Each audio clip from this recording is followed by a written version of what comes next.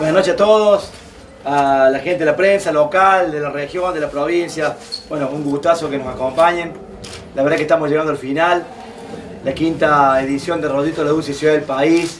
Y creo, sinceramente, que más que palabras que pueda decir yo, se me debe notar en mi rostro de satisfacción, de alegría, de haber cumplido, de haber podido instalar esta fiesta. Yo les agradezco a, a ustedes, los medios de comunicación, por ayudarnos para que esta fiesta sea conocida. Cuando pensábamos allá por el año 2014, hace poquito, ¿no?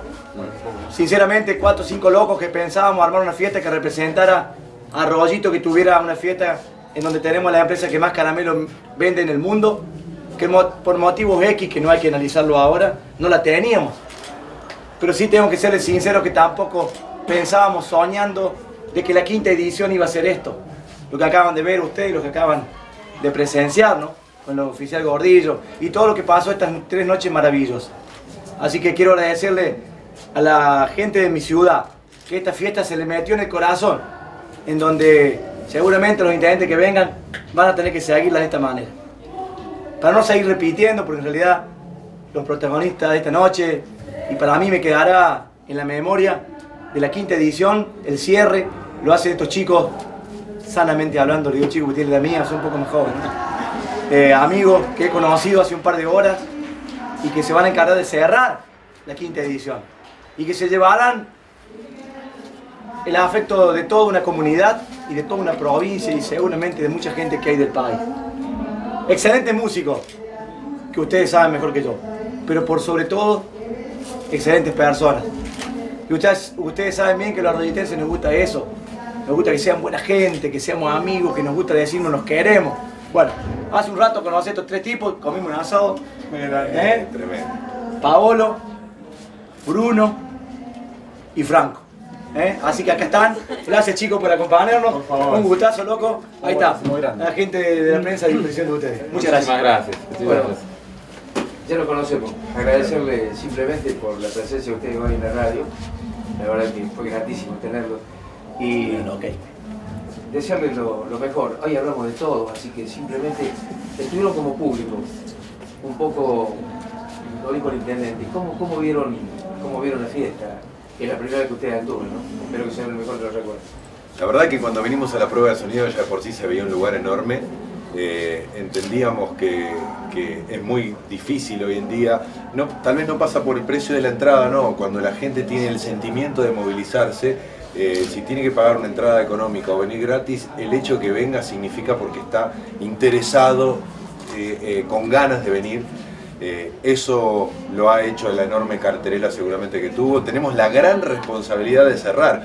No sé si hubo otros artistas que tuvieron la posibilidad de hablar o de conectarse con ustedes antes de subirse a cantar. Para nosotros es, un enorme compromiso que, va a tener un plus seguramente en cuanto al, trabajo que vamos a tener que hacer, porque como decimos siempre, cuando eh, nosotros proponemos, pero cuando hay una vuelta con esta energía, es mucho más lo que nosotros tenemos que devolver. Así que bueno, con la mejor de las expectativas y muy agradecidos y felicitaciones por la fiesta que es realmente espectacular. Chicos, buenas noches, bienvenidos, Jessica de Canal 13 Arroyito, el canal local. Eh, bueno, aquí hay exponentes que ya vienen de cuna, de gente con estas capacidades, estas cualidades de ser entregado a la música, que tiene experiencia. Eh, ¿Ha sido para ustedes algún tipo de mochilo responsabilidad extra el hecho de tratar de dar continuidad a esos pasos de sus antecesores? ¿O de alguna manera ustedes ya han puesto eh, bien la impronta personal y se destacan por ustedes mismos? Eso es una muy linda pregunta. La verdad que lo vamos haciendo a medida que va transcurriendo el tiempo, tratar de darle eh, lo nuestro. Cuando arrancamos, obviamente, eh, éramos más San Javier que destino, pero a partir de, ir transcurrido el tiempo, ya nos sentimos más destino que San Javier. Eh, la responsabilidad, y esto como lo decís vos, es algo muy lindo, que lo hacemos muy, muy natural, realmente. Subirnos al escenario como tres familiares, hermanos, primos, lo hemos hecho toda la vida jugando en casa, así que eh, es una responsabilidad, pero lo tomamos muy, muy tranquila porque lo, vemos como muy natural entre nosotros. Buenas noches, Buenas noches. Pablo, estamos en vivo para la Rositense, medio local. Bueno, eh, poco respondiendo o hablando un poco que tiene que ver con la pregunta de Jessica, la colega, es eh, siguiendo esto, ¿no? Ustedes cada escenario que, pisan del país, que vienen haciendo ya hace mucho tiempo, eh, ¿qué sensación tienen o cuando se retiran de cada uno? Por ejemplo, ¿cuál va a ser eh, la de este escenario especial por esta fiesta, por esta quinta edición, esta fiesta grande que tiene la ciudad de Rosita? La fiesta se la ve increíble y la verdad a nosotros nos, nos llena de, de amor sobre todo que toda la gente de Arroyito y que toda la gente de alrededores también se esté juntando en esta noche porque se celebra algo mucho más que la música o, eh, o la celebración de por sí de una fiesta de festival, es la reunión de la familia y que la familia se siga juntando y nosotros poder ser parte de eso con las canciones que le damos para nosotros es un lujo, es una, es una bendición poder conectar con la familia nuevamente y que la familia se conecte con nuestras canciones. Eh, nosotros estamos ahora viendo el marco, estamos muy emocionados y ansiosos por, ya subir al escenario y compartir con todos ustedes. Realmente va a ser una emoción muy linda y seguramente un recuerdo inolvidable. ¿Cuál será más o menos eh, el espectáculo que, que van a brindar a la gente que seguramente está viendo ahora en vivo por distintos medios? ¿Con qué se van a encontrar en el escenario? Bueno, lo tienen que ver. no, no, no te, no te vamos quiero a adelantar nada. nada. No, mucho menos. Y termina 10 con, dice, Claro. Faltando tan poquito, pero seguramente que se van a divertir mucho. Es un, es un espectáculo muy de mucha conexión con la gente, así que eso es lindo. ¿Cuál es la sensación de ver que canta eh, el padre o el abuelo? Y de golpe también en el folclore joven, hoy muchos jóvenes que están incorporados a esta música tan linda como es la nuestra, nuestras raíces, cante esos clásicos que ustedes hoy llevan a los escenarios. Frankie. Vamos, Franco. Vamos, Franco. Eh, eso creo que fue uno de los grandes logros y es uno de los grandes orgullos que llevamos en estos tres cortos años de, de- de- de carrera juntos como Destino San Javier. El hecho de haber podido eh, conquistar un nuevo público sin dejar de lado y sin dejar de gustarle a la, a la gente que toda la vida escuchó esas canciones. Eh, fue una meta muy alta.